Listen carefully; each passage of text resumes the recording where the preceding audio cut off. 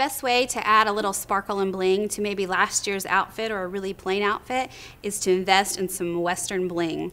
And let's start with great footwear introduced this year from Justin. It's actually produced by M&F. This great footbed is so cute in the summer with three sparkly concho details. And I can't tell you enough how comfortable they are.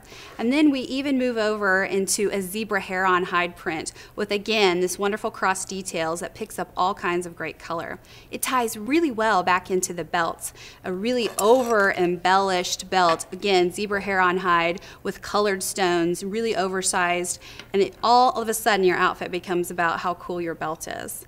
And finally, not to be forgotten, one of the favorite accessories, handbags. I really love this new Western handbag that looks almost like a boot with great concho details, rhinestones on the strap, boot stitching. It goes really well with anything. And then for really fun kick, you can add this pink one in again with clear rhinestones. I mean, it's all about bling, it's all about fun. It's just a great way to update your wardrobe. I'm Trinity and I'm a buyer here at Sheplers.